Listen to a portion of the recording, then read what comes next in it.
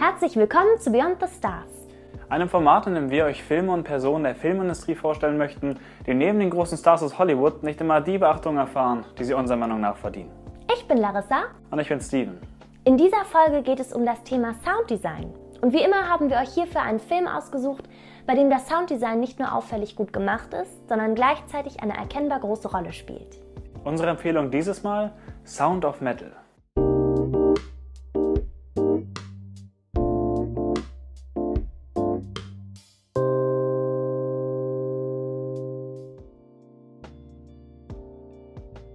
Ruben, gespielt von Riz Ahmed, und seine Freundin Lou, gespielt von Olivia Cook, touren in einem Wohnmobil von Gig zu Gig quer durch Amerika.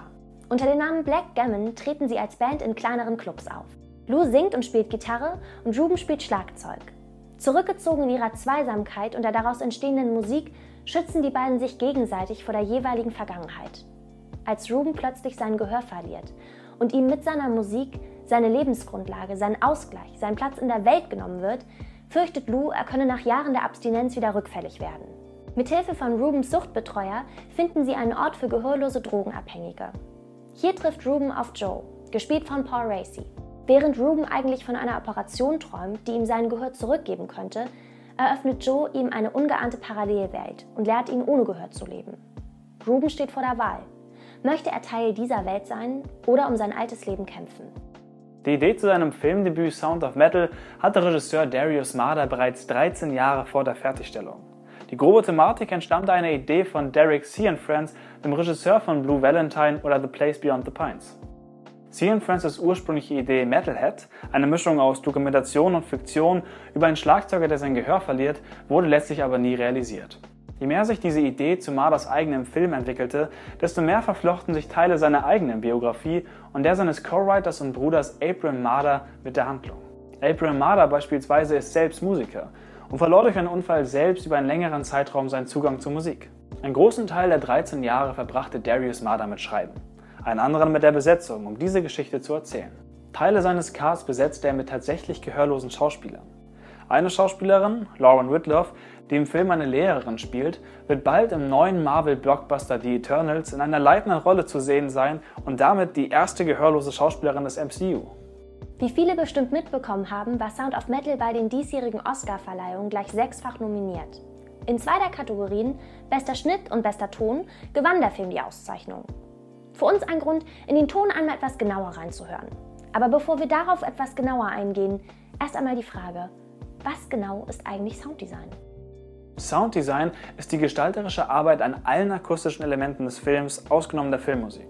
Ein großer Teil des Sounddesigns, die kreative Arbeit mit Klängen, Geräuschen und Sprachaufnahmen, findet in der Postproduktion statt. Hier wird die Soundlandscape, die Klangkulisse eines Films, aus einer Mischung von am Set aufgenommenen Originalsounds, Material aus Geräuscharchiven und nachträglich aufgenommenen Sounds zusammengestellt und abgestimmt. Der wohl offensichtlichste Aspekt dieser Klangkulisse ist die Bestärkung dessen, was wir als Zuschauende sehen. Jeder Handlungsort hat seine eigenen Geräusche, sichtbare und unsichtbare. Ein summender Kühlschrank, ein Radio, Vogelgesang und Wind in den Bäumen. Aber diese Geräusche bestärken nicht nur die abgebildete Atmosphäre, sondern können sie auch stark beeinflussen. Streitende Nachbarn, ein anderer Sender im Radio, die Sirene eines Krankenwagens oder ein auf laut gestelltes Handy. Dazu kommen dann natürlich die Dialoge und die Geräusche der eigentlichen Handlung, die von Handlungsort zu Handlungsort unterschiedlich klingen. Damit diese deutlich genug sind und gleichzeitig natürlich wirken, kommen häufig unterstützend zu den Originalsounds mithilfe von Foley Artists nachträglich aufgenommene Sounds dazu. Synchron zum Footage werden einzelne Geräusche aufgenommen. Dabei wird häufig tatsächlich gar nicht das echte Geräusch imitiert, sondern die ideale Vorstellung des Geräusches erlebbar gemacht.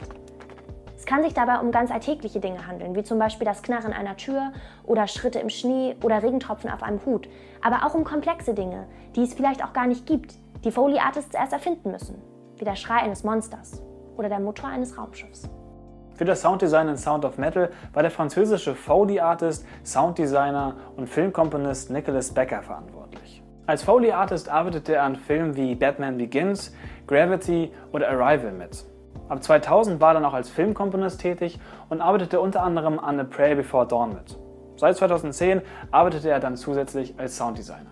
Bereits ein Jahr vor Drehbeginn begannen Regisseur Darius Marder und Nicholas Becker mit der Recherche für das Sounddesign in Sound of Metal. Auf verschiedenen Wegen versuchten sie Gehörlosigkeit nachzuempfinden, um dieses Empfinden dann für hörende Zuschauer in Geräusche übersetzen zu können. Im Zuge dieser Recherchen verbrachte Marder unter anderem eine halbe Stunde in einem komplett verdunkelten, echofreien Raum.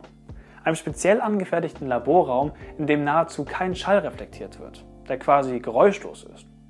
Trotz dessen hört man in einem echofreien Raum aber nicht nichts, sondern hört stattdessen seine inneren Körpergeräusche. Genau solche Körpergeräusche wurden dann auch in Sound of Metal genutzt. Becker und sein Team installierten dafür unter anderem ein selbstgebautes Mikro in den Mund des Hauptdarstellers Riz Ahmed, um seine innerlichen Geräusche wie Herzschlag oder Knochen- und Muskelbewegungen aufnehmen zu können. Im Film werden die Situationen meist zuerst aus der hörenden Perspektive dargestellt, um dann abrupt in Rubens gehörlose Perspektive zu wechseln. Für die letztere wurden innere und äußere Geräusche gemischt, wobei die äußeren abgedämpft und abgedunkelt wurden. Von Beginn des Films an führt das Sounddesign die Zuschauenden dahin, diese unterschiedlichen Welten bewusst wahrnehmen zu können. Der Film beginnt mit einem lauten, schlagzeuglastigen Konzert von Luz und Rubens Band Black Gammon, um nach vier Minuten abrupt in die Stille des morgendlichen Wohnwagens zu wechseln. Durch den starken Kontrast beginnt man schon hier aktiv zuzuhören. Die Aufmerksamkeit des Zuschauenden wird direkt auf die kleinen Geräusche des Alltags gerichtet, sodass das spätere Fehlen dieser nur umso lauter und drastischer wirkt. Um so viele leise Alltagsgeräusche so präsent darzustellen, müssen die Aufnahmen am Set sowie später im Studio absolut sauber aufgenommen worden sein. All diese Liebe zum Detail und die kreativen Wege, diese Geräusche später zu nutzen, machen Sound of Metal zu einem einzigartigen Audioerlebnis und alleine deswegen schon unbedingt sehenswert. Gleichzeitig schlägt dieser Film eine Brücke zu einer großen Kultur, über die sich die meisten Menschen, uns eingeschlossen, bisher eher wenig bis gar keine Gedanken gemacht haben. Zu sehen gibt Sound of Metal auf Amazon Prime. Wenn euch unser Video gefallen hat, dann hinterlasst uns doch gerne ein Like. Welche Berufe hinter der Kamera würdet ihr gerne in unserem Format sehen? Schreibt es uns in die Kommentare. Vielen Dank fürs Zuschauen und bis zum nächsten Mal.